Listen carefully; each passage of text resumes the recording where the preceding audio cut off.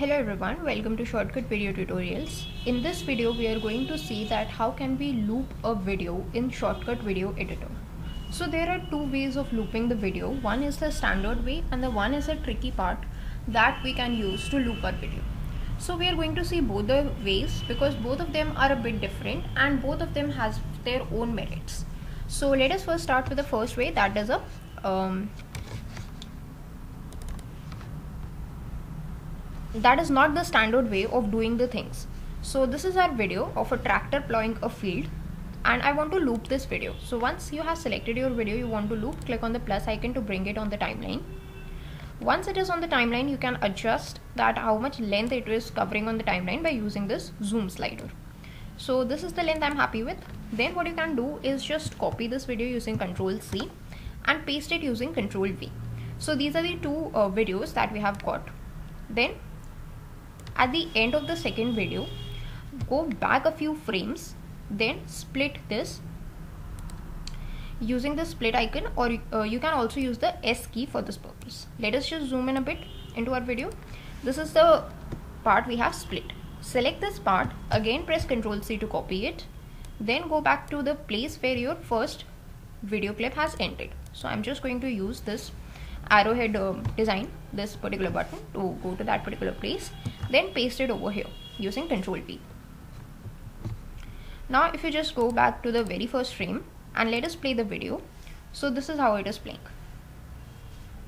And here you can see the video once uh, it has been played completely then it automatically loops. So let's just see that part. Here it is looping automatically. So once it is completed again it begins to loop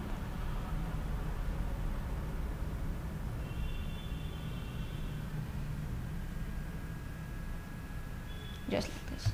So that's how you loop the video. And you can add as many loops as you want. That's totally up to you. But this is the not the standard way of doing the things. But if you want a standard way of doing the things then what you can do is just again bring up the video. Make sure you are happy with it. Just click on the plus icon to bring it onto your timeline. Then what we are going to do is just go to the filters pane by clicking on here. Click on the plus icon and search for reverse if you cannot find the reverse filter over here that's probably because uh, you are using a version of Shotcut where the filter reverse filter has been removed. So in that case what you can do make sure your video is selected. Go to uh, this. So uh, go to this particular video. Right click over here. Go to properties. Here if you scroll down in the property pane you will see this something that says reverse so here you are supposed to select a quality. I'm happy with the quality of the video. So let's just click on ok. It will ask you to save the video somewhere. So let's just save it on the desktop. Um, let's just rename it as reversed video. Click on save.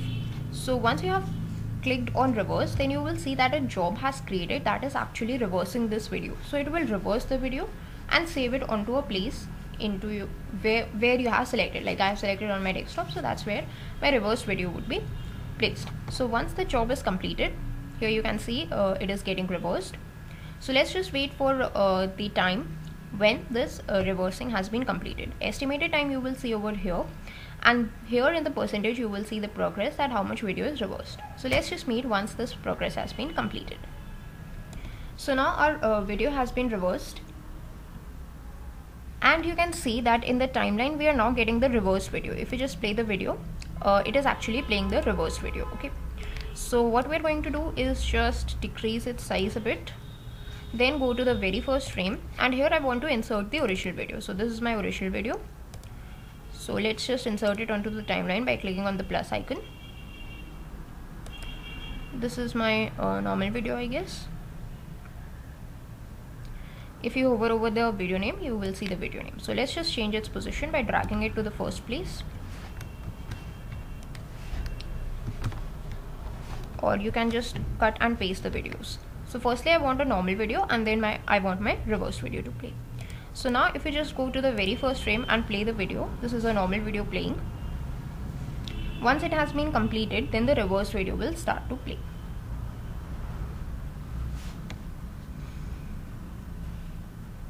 so here you can see now the video is reversing. So that's how we have created a perfect loop video in the Shotcut video editor. That's it for this video. Thanks for watching